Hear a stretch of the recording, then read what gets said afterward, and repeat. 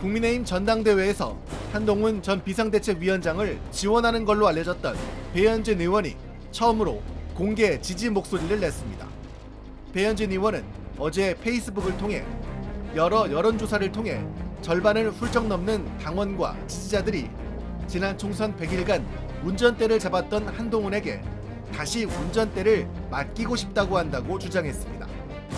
원희룡 전 국토부 장관이 어둡고 험한 길을 가는데 길도 제대로 모르는 초보 운전자가 운전대를 잡을까 무섭고 두렵다라고 한동훈 전 위원장을 비판했는데 배 의원이 이걸 다시 반박하는 메시지를 낸 겁니다.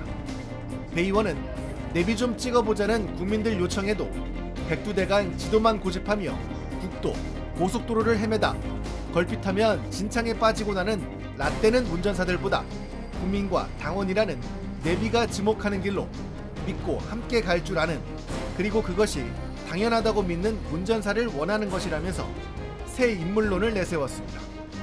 그러면서 누구의 말과 달리 이미 국민들 눈에는 초보 운전사가 아닌 것이라면서 한동훈 전 위원장을 옹호하고 원희룡 전 장관을 비판했습니다.